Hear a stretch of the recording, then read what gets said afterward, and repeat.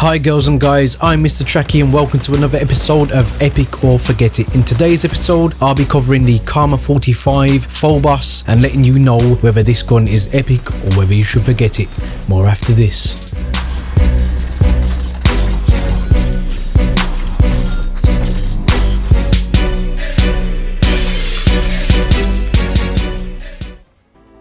Hi girls and guys, it's Mr. Trakky and we're on the right track.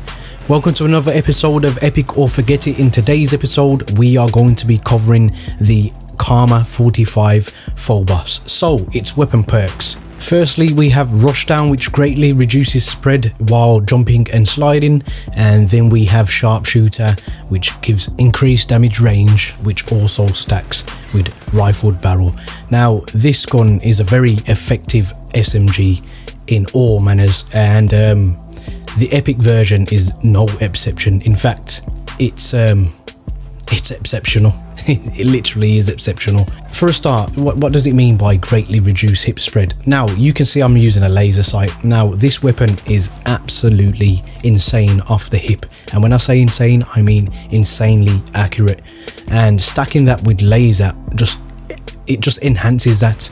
And you'll see from the intro that um, I have no difficulty in hosing down the enemy whilst not aiming down my sights. And this is a great gun for close quarters but equally you probably can tell uh, with the increased range this gun seems to hold its own at long ranges also.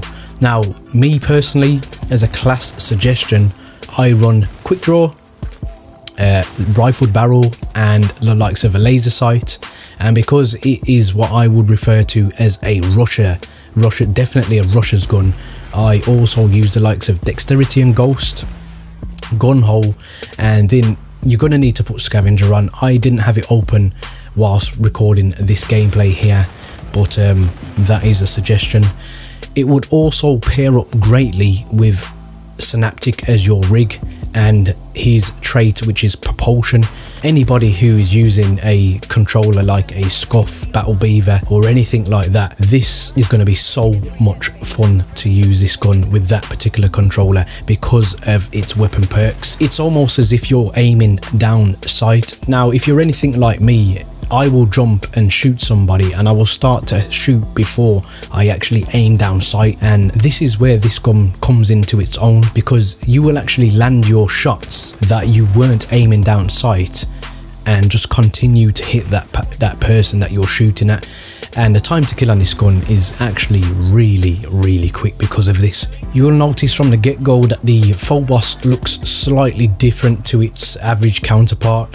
The uh, iron sight is definitely different. It's a circle which is subjective to whether people prefer it or not. It definitely looks like the Vector from previous Call of Duty games which is here and all there because I'm sure you guys want to see what it's like. You can see me jumping around here and just doing as much as I can to show you in a game play this gun off the hip and using the benefits of the particular weapon in question. The great thing about this gun is it's not behind any type of what you would refer to as a paywall. You do not have to get this gun through supply drops. What you actually have to do is complete the missions for the mission teams and this is basically the top unlock and another benefit to going for this particular gun here is you will actually unlock the FHR nuclear variant also just before you get this gun.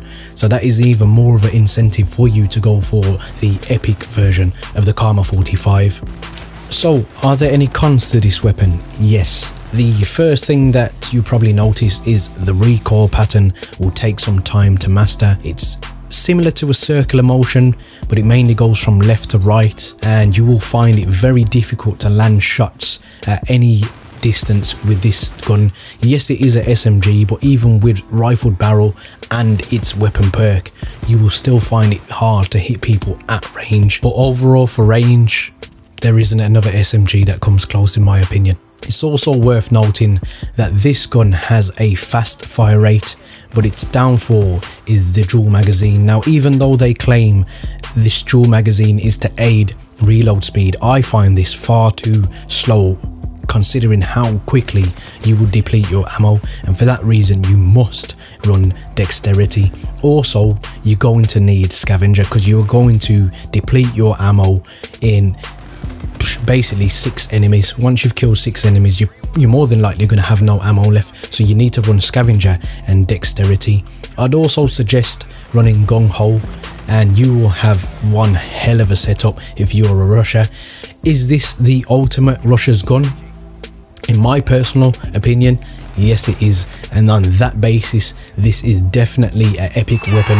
Not to forget it's not behind a paywall. You do not have to get it in a supply drop. You can grind out the team missions and do the little missions like getting 10 kills in a game. And once you get to level 50 the Karma 45 Phobos is yours. And for that reason it definitely is epic. Guys there are many buttons you could hit but the like and subscribe button I hope they tickle your fancy and as always guys, don't forget to stay on the right track. Peace.